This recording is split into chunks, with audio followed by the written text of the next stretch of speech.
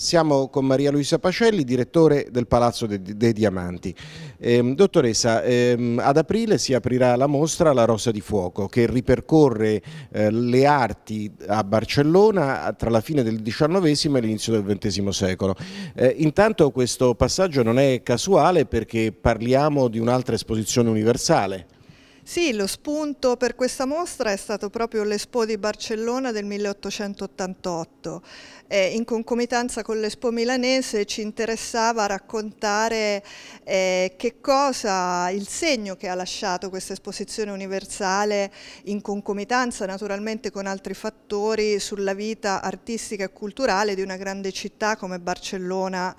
eh, tra i due secoli. Perché è così interessante questo ventennio, trentennio di Barcellona?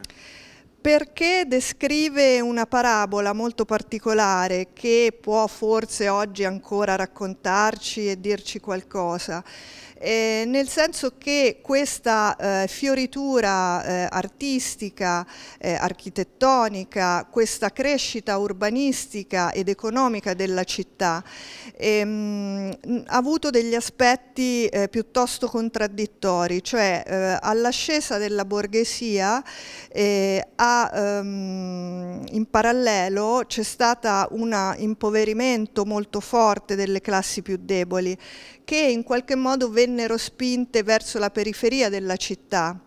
e, ehm, e quindi la, la, mostra racconta un po' anche una parabola da questo punto di vista, eh, l'avvento di queste correnti artistiche, eh, la crescita della città dal punto di vista architettonico e urbanistico, eh, ma allo stesso tempo le grandi tensioni eh, sociali che eh, scaturirono e che ebbero il proprio culmine nel 1909 con quella che viene ricordata nota come la settimana tragica, una settimana in cui ci furono più di 50 attentati e da questo il nome La Rosa di Fuoco, che era il nome che veniva dato a Barcellona nei circoli anarchici internazionali. Ehm, in mostra c'è parecchio Pablo Picasso, però è un Picasso che di solito non vediamo perché in realtà Picasso ha vissuto pochissimo in, in Spagna, Erano, sono proprio quegli anni a cui si fa riferimento. Sì, sono gli anni in cui lui ha vissuto naturalmente a Barcellona, sono gli anni anche della scoperta di Parigi, infatti eh, nelle opere che ci sono in mostra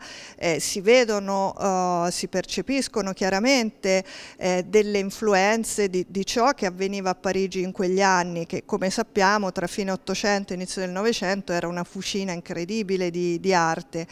E questo destino, diciamo, o questa eh, propensione ehm, verso la Francia, verso Parigi, accomuna eh, Picasso con altri artisti di Barcellona della sua generazione, suoi amici, con i quali condivideva anche degli atelier, eh, perché in quegli anni lui vive a Barcellona ma trascorre dei periodi a Parigi. E infatti alcuni eh, temi che lui tratta in questi anni, come eh, il caffè concerto, il teatro, eh, le prostitute, eh, sono temi anche prettamente parigini. Eh, ciò che sarà interessante sarà eh, vedere la grandezza di questo artista fin da giovane, eh, ma anche vedere come non fosse un artista isolato e come lui cresceva eh, assieme a dei suoi mh, colleghi eh, catalani, anche loro,